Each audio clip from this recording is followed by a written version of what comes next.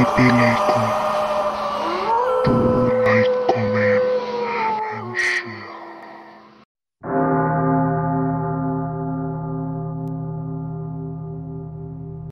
মিনার diary চলছে। আকাশে উজ্জ্বল গোলাকার চাঁদ। মাঝে মাঝে কালো মেঘের টুকরো টুকরো খণ্ড ভেসে যাচ্ছিল তার উপর ফলে নিচের ঘুমন্ত পৃথিবীর ওপর আলো আর ছায়া লুকোচুরি চলছিল।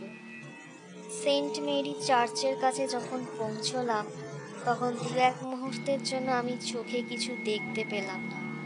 কারণ ঠিক সেই সময় মেঘ চাঁদকে ঢেকে ফেলায়, তার কিরণ রুদ্ধ হয়ে গিয়েছিল মেঘের পর্দার আড়ালে।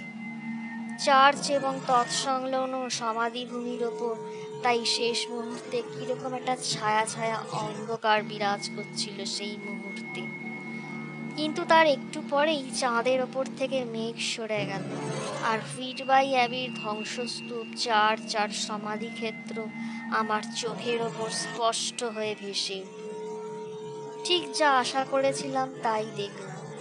দেখি সমাধিক্ষেত্রের ভেতর আমাদের পছন্দের সেই পাথুরে বেঞ্চটার ওপর একটা সাদা কাপড়ের মতো কিছু দেখতে পেলাম। শুভ্র চাঁদের আলোয় জিনিসটাকে শ্বেত পাথরের মতো সাদা দেখাচ্ছিল। কিন্তু মুহূর্তের জন্য এই জিনিসটা আমার নজরে পড়ল। কারণ তার একটু পরেই মেঘের জবনিকার আড়ালে ঢাকা পড়ে গেল চাঁদ।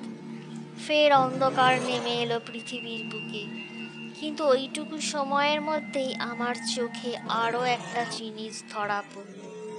স্পষ্ট চোখে পড়ল পাথুরে বেঞ্চটার ওপর পড়ে থাকা সেই ধবধবে সাদা জিনিসটার পেছনে একটা কুচকুচে কালো কিছু যেন দাঁড়িয়ে আছে। সেটা শুধু দাঁড়িয়েই নেই, সাদা কাপড়টার ওপর ঝুঁকে আছে অনেকটা। মেঘের আড়াল থেকে চাঁদ বেরিয়ে আসা এবং সামান্য সময় পর ফের মেঘের আড়ালে চলে যাওয়া। এর মধ্যেই জিনিসটা আমার নজরে পড়ল। ওই সাদা কাপড়টা যদি লুসির হয়, তাহলে ওর পেছনে দাঁড়ানো, ওর ওপর ঝুঁকে থাকা কালো জিনিসটা কি হতে পারে? মানুষ না, কোনো পশু। ঠিক ঠাহর হলো না। কিন্তু ওটা যাই হোক, আমি আর অপেক্ষা করতে পারলাম না। আমি সিঁড়ি দিয়ে পায়ারের দিকে নেমে যেতে লাগলাম। দিনের বেলা যেখানে মাছের বাজার বসে, সে জায়গাটা এখন মৃতের মতো নিষ্পন্দ হয়ে পড়ে আছে। একটিও জনপ্রাণী নেই কোথাও। আমি দ্রুত সেই জায়গাটা অতিক্রম করে ইস্ট ক্লিফের সমাধি ক্ষেত্রের দিকে ছুটতে লাগলাম। রাস্তায় জনপ্রাণী নেই, এটা একদিক দিয়ে ভালোই হয়েছে, কারণ লুসিকে কেউ এই অবস্থায় দেখে ফেলুক, আমি মনে প্রাণে চাই না। সময় আর দূরত্ব যেন শেষই হয় আমি ইস্ট ক্লিফের সমাধি ক্ষেত্রে পৌঁছবার সিঁড়িগুলো একটার পর একটা অতিক্রম করতে লাগলাম। নিদারুণ পরিশ্রমে আমার কপাল বেয়ে ঘাম ঝরতে লাগল। দ্রুত ছোটার ফলে ভারী ভারী নিঃশ্বাস পড়তে লাগল আমার। নিজের শরীরটাকেও অসম্ভব ভারী মনে হচ্ছিল। শরীরের প্রত্যেকটা গাঁটে গাঁটে ব্যথা শুরু হয়েছিল। একেবারে ওপরে পৌঁছে দেখলাম সেই পাথুরে বেঞ্চটার ওপর এলিয়ে পড়ে রয়েছে একটা শ্বেত শুভ্র অবয়ব। আর তার উপর একটা কুচকুচে কালো দীর্ঘকায় কিছু ঝুঁকে রয়েছে। সাদা অবয়বটাকে পরিষ্কার চিনতে পারলাম, সে লুসি ছাড়া আর কেউ নয়। কিন্তু ওর ওপর ঝুঁকে থাকা ওই কালো জিনিসটা কি? আমি সবাই চেঁচিয়ে উঠলাম লুসি লুসি সঙ্গে সঙ্গে রহস্যের আধার সেই কালো কুচকুচে বস্তুটা যেন মাথা তুললো মনে হলো, তাকালো এদিকে, আমার দিকে। একটা সাদা মুখ। মানুষের মুখ বলেই মনে হলো, কিন্তু মানুষের মুখ ওরকম হয়? কি অস্বাভাবিক সাদা মুখটা যেন সাদা রং চং মেখে এসেছে। আর আর দুটো জ্বলন্ত লাল আগুনের মতো চোখ। ওটা কি? বিস্ময় আতঙ্কে আমার হৃৎপিণ্ড যেন মুহূর্তের জন্য জমে বরফ হয়ে গেল। লুসি নিরুত্তর, নিষ্পন্দ আমি ছুটে সমাধিক্ষেত্রের ভেতর প্রবেশ করলাম। লুসির কাছে পৌঁছতে আমার মাঝখানে চার্চের একদিকে দেয়ালের আড়াল পড়ে। তাই কয়েক সেকেন্ডের জন্য আমি লুসিকে আর দেখতে পেলাম না। চার্চের একদিকে দেয়ালের আড়ালে ঢাকা পড়ে গিয়েছে সে। যখন সেই দেয়াল অতিক্রম করে আমি ফের লুসিকে দেখতে পেলাম, তখন চাঁদের ওপর থেকে মেঘ সরে গিয়েছে। ফের উজ্জ্বল আলোর বন্যায় ভেসে যাচ্ছে চরাচর দেখি লুসি সেই পাথুরে বেঞ্চটার ওপর আজ শোয়া অবস্থায় বসে। তার মাথাটা বেঞ্চের পেছনে অর্ধেক ঝুলে রয়েছে। আরও একা, একেবারেই একা। সেই কালো মূর্তিটাকে কোথাও দেখতে পেলাম না। একটাও জীবন্ত প্রাণী নজরে পড়ল না আশেপাশে কোথাও। আমি যখন লুসির কাছে গিয়ে ওর ওপর ঝুঁকে পড়লাম, তখনও দেখি ও গভীর ঘুমে আচ্ছন্ন। ঠোঁট দুটো শুধু সামান্য ফাঁক হয়ে রয়েছে। শ্বাস প্রশ্বাস চলছে খুব ধীর লয়ে, যেন শ্বাস নিতে ওর খুব কষ্ট হচ্ছে। আমি যখন ওর কাছে গেলাম, বোধহয় ঘুমের মধ্যেই লুসি এক হাত দিয়ে নিজের পরনের নাইটির কলারের কাজটা টেনে কাঁধের কাছে উঠিয়ে নিল। মনে হলো ওর যেন শীত করছে আমি আমার গায়ের শালটা খুলে ওকে ভালো করে জড়িয়ে দিলাম। ঠান্ডায় কাঁপছিল লুসি। আমি শালটা দিয়ে ভালো করে ওর ঘাড় মাথা ঢেকে দিলাম। যাতে খুলে না যায়, তাই সেফটি পিন দিয়ে ভালো করে আটকে দিলাম। এই সময় লুসির একটা হাত ফের উঠে এলো। গলার পাশে একদিকে স্পর্শ করে ঘুমের মধ্যেই কীরকম যেন গুমিয়ে উঠল। আমি আমার পা থেকে জুতো জোড়া খুলে ওর পায়ে পরিয়ে দিলাম। তারপর আস্তে আস্তে ওর নাম ধরে ডেকে ওকে জাগাতে চেষ্টা করলাম। প্রথমটায় লুসির কাছ থেকে কোনো সাড়া পেলাম না। কিন্তু ঘুমের মধ্যে ওর একটা ছটপটানি ভাব বেশ লক্ষ্য করলাম, আর মাঝে মাঝে কিসের যন্ত্রণায় যেন ঘুমিয়ে উঠছে সে। সময় কতটা পেরিয়ে গিয়েছে আমি জানি না। আমি লুসিকে বাড়ি নিয়ে যাওয়ার জন্য ওকে ফের জাগাতে চেষ্টা করলাম। আমার ডাকাডাকিতে একসময় সে চোখ মেলে তাকালো। প্রথমটায় আমাকে দেখেও মোটেও যেন অবাক হলো না। মনে হয় প্রথমটায় যেন বুঝতেই পারল না ও কোথায় আছে। ভাবালুর মতো চারপাশটা দেখে এবং নিজেকে এত রাতে এই নির্জন সমাধি ক্ষেত্রে দেখে প্রথমটায় শিউরে উঠল লুসি। কাঁপতে লাগল তার শরীর। আমি ওকে ধরে আস্তে আস্তে উঠিয়ে দাঁড় করাতে, শিশু যেমন বিনা বাক্য মায়ের আদেশ পালন করে ঠিক তেমনি সেও বিনা বাক্য ব্যয় বেঞ্চ ছেড়ে উঠে দাঁড়াল। ফের শুরু হলো পথ চলা, এবার লক্ষ্য বাড়ি ফেরা।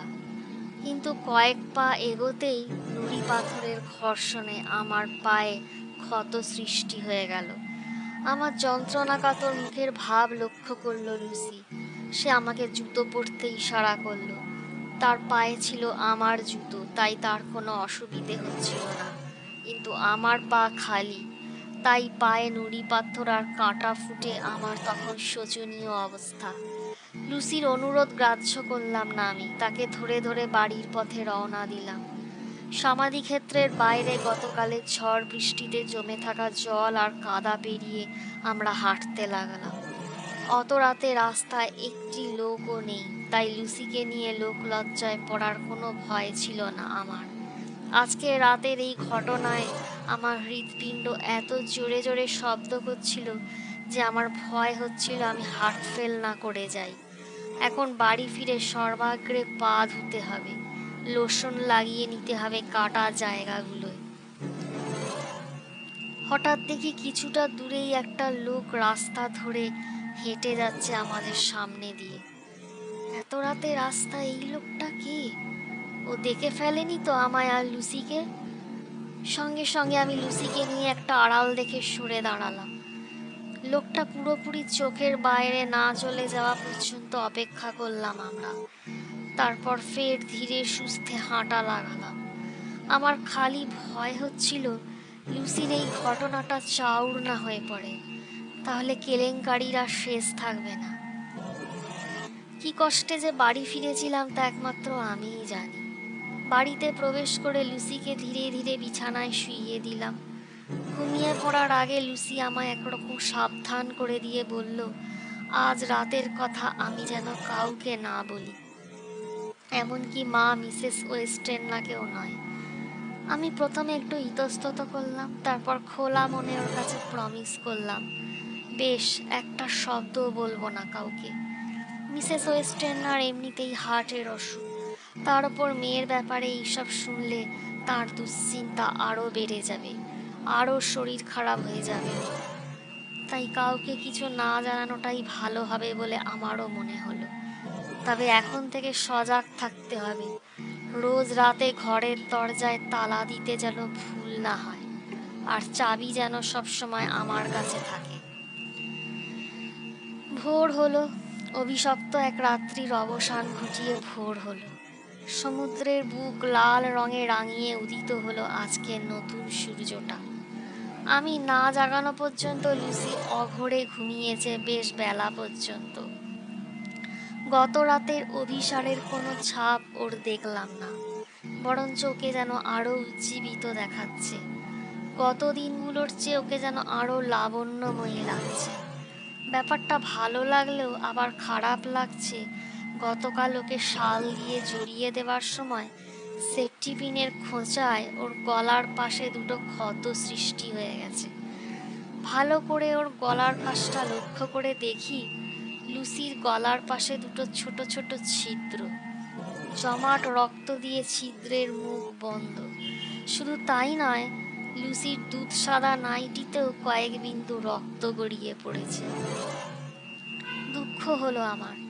আমারই অবহেলায় লুসি শুধু শুধু ব্যথা পেল আমি যখন আমার এই অবহেলার জন্য ওর কাছে মাফ চাইলাম, অদ্ভুতভাবে হেসে উঠল লুসি।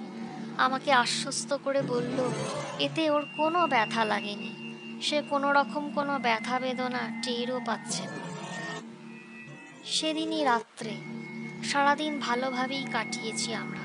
সুন্দর আবহাওয়া, নীল মেঘের বেলার ফাঁকে ফাঁকে উজ্জ্বল সূর্য কিরণ সেই সঙ্গে সমুদ্রের ঠান্ডা, লবণাক্ত হাওয়া।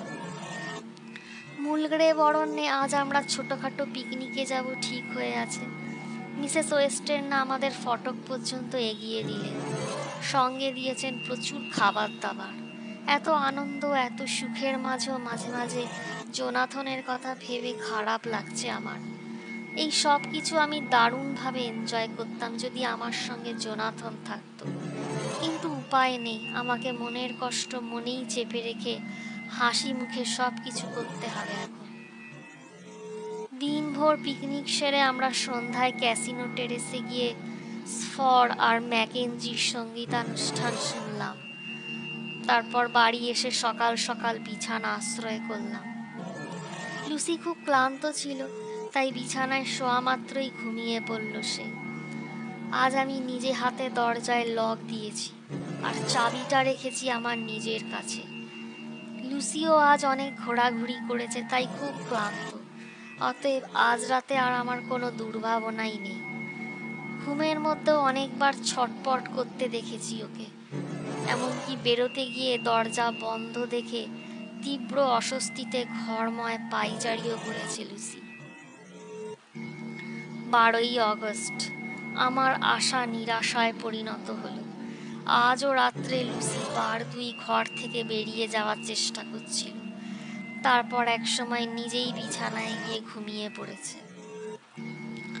ভোরের আলো ফোটার সঙ্গে সঙ্গে আমার ঘুম ভাঙল।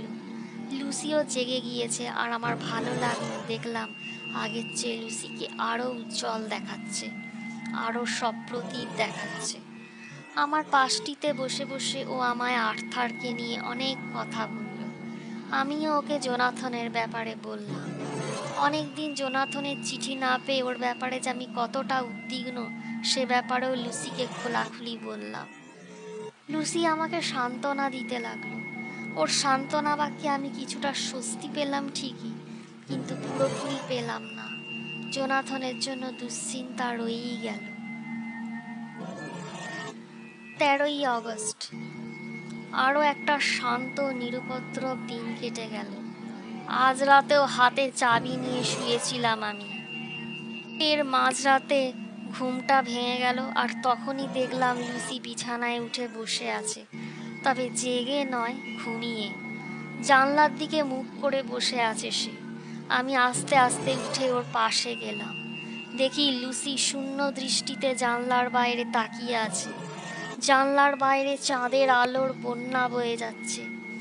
দূর আকাশ আর সমুদ্র স্নান করছে সেই রূপলি ধারায়। কিন্তু এত আলো, এত সৌন্দর্যের মধ্যেও সমগ্র প্রকৃতির মধ্যে কীরকম একটা রহস্য রহস্য গন্ধ নাকে এলো আমার। একটা অদ্ভুত, অপ্রাকৃতিক অনুভূতিতে মনটা বারবার শিউরে উঠতে লাগল। জানলার কাছে উঠে এসে দেখি, ঠিক জানলার ওপরে আকাশে চক্কর দিচ্ছে একটা বাদুড়।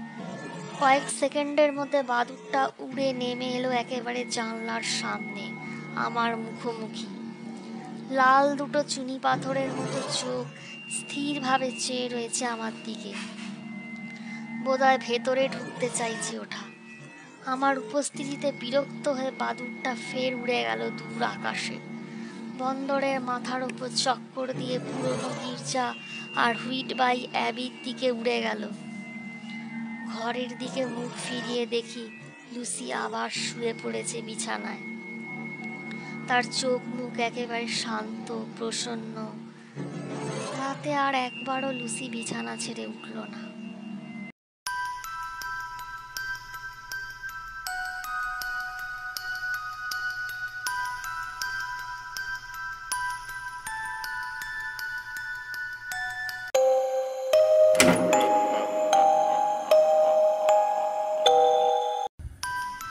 গল্পটি শোনার জন্য আপনাদের সবাইকে অসংখ্য ধন্যবাদ। পরবর্তী পর্ব পেতে অবশ্যই আমাদের চ্যানেলটি সাবস্ক্রাইব করুন এবং বেল আইকনটি ক্লিক করুন। গল্পটি ভালো লাগলে অবশ্যই ভিডিওটিতে লাইক ও কমেন্ট করে জানাবেন। শুভরাত্রি।